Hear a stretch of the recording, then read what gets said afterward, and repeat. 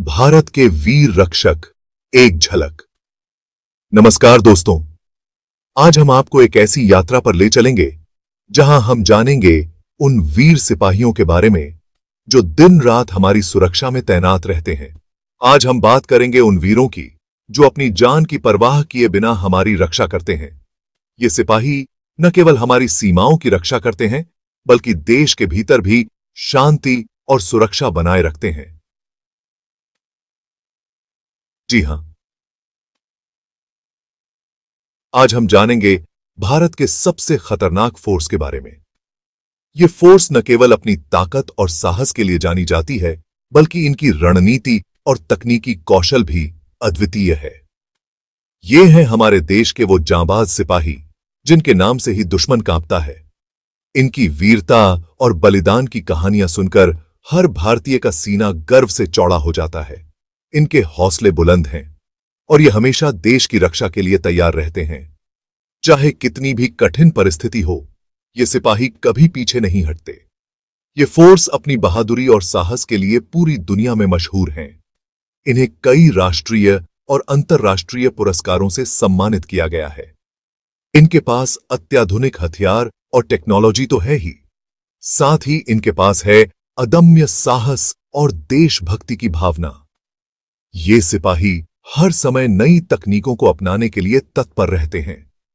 ये वीर सिपाही हर चुनौती का डटकर सामना करते हैं और दुश्मन को मुँह तोड़ जवाब देते हैं। इनकी रणनीति और युद्ध कौशल का कोई मुकाबला नहीं। चाहे जंगल हो, पहाड़ हो या फिर समुद्र, ये हर जगह अपनी वीरता का परचम लहराते हैं। इनकी बहादुरी की कहानियाँ हर भारतीय के दिल में बसी हैं।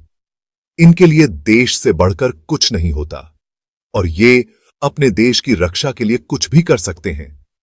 इनका समर्पण और देशभक्ति का जज्बा हर किसी के लिए प्रेरणादायक है। तो आइए, आज हम मिलते हैं इन जामबाज सिपाहियों से, और जानते हैं इनकी वीरता और बलिदान की कहानियाँ। इनकी कहानियाँ हमें न केवल प्रेरित करती हैं, बल्कि हमें यह भी सिखाती हैं कि देशभक्ति और साहस का असली मतलब क्या होता है? अग्निपथ से शौर्यपथ तक, कठोर प्रशिक्षण। यह एक ऐसा सफ़र है, जो हर सैनिक को एक साधारण व्यक्ति से एक अद्वितीय योद्धा में बदल देता है। दोस्तों, क्या आप जानते हैं कि ये वीर सिपाही इतने ताकतवर और निडर कैसे बनते हैं? यह सब उनके कठोर और अनुशासित प्रशिक्षण का परिणाम है। इनकी ताकत का राज है इनका कठोर प्रशिक्षण। यह प्रशिक्षण न केवल उनके शरीर को मज़बूत बनाता है, बल्कि उनके मनोबल को भी ऊँचा उठाता है। यह कोई आम ट्रेनिंग नहीं होती, बल्कि एक ऐसी अग्नि परीक्षा होती है जहाँ से निकलकर ये फौलादी बन जाते हैं। हर दिन एक नई चुनौती होती है, जो इन्हें और भी मज़बूत बनाती है। सुबह की पहली किरण से लेकर रात के अंधेरे तक ये कठिन से कठिन परिस्थितियों में खुद को ढालते हैं। चाहे धूप हो या बारिश, ये कभी हार नहीं मानते। दौड़ना, कूदना, तैरना, हथियार चलाना, ये सब तो बस शुरुआत है। इनकी ट्रेनिंग में हर प्रकार की शारीरिक गतिविधि शामिल होती है, जो इन्हें हर परिस्थिति के लिए तैयार करती है। इनकी ट्रेनिंग में शारीरिक क्षमता के साथ साथ मानसिक मजबूती पर भी ज़ोर दिया जाता है। मानसिक मजबूती के बिना शारीरिक ताकत अधूरी है। इन्हें सिखाया जाता है कि कैसे मुश्किल से मुश्किल परिस्थिति में भी खुद को शांत रखें और सही फैसला लें। यह निर्णय लेने की क्षमता ही इन्हें एक सच्चा योद्धा बनाती है। कई दिनों तक भूखे प्यासे रहना, नींद से वंचित रहना यह सब इनके प्रशिक्षण का हिस्सा है। यह सब इन्हें सिखाता है कि कैसे कठिनाइयों का सामना करना है। ये इसलिए किया जाता है ताकि ये किसी भी परिस्थिति का सामना कर सकें, चाहे कितनी भी कठिनाई हो। ये हमेशा तैयार रहते हैं हर चुनौती का सामना करने के लिए।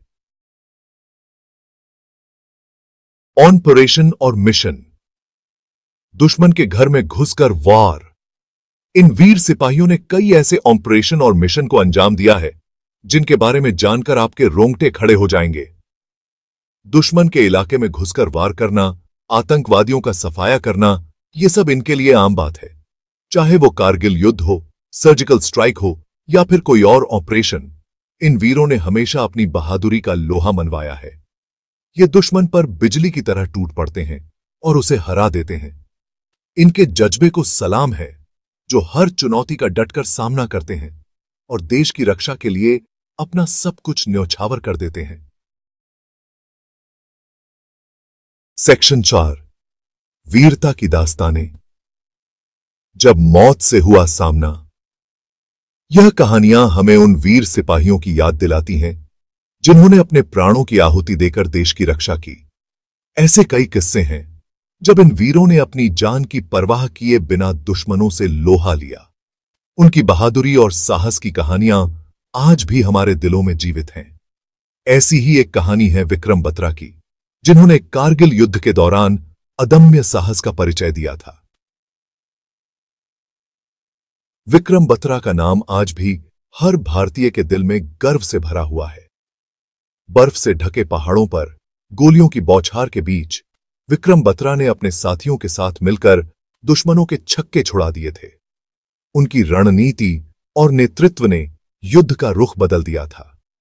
उनकी वीरता और बलिदान के लिए उन्हें मरणोपरांत परमवीर चक्र से सम्मानित किया गया। यह सम्मान उनके अद्वितीय साहस और देशभक्ति का प्रतीक है।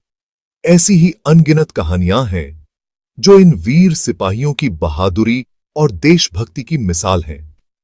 हर कहानी हमें यह सिखाती है कि सच्चा वीर वही है, जो अपने देश के लिए अपने प्राणों की आहुति देने से भी पीछे नहीं हटता।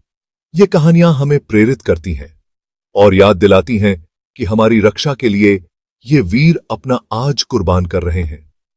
उनकी कुर्बानियों को कभी भुलाया नहीं जा सकता।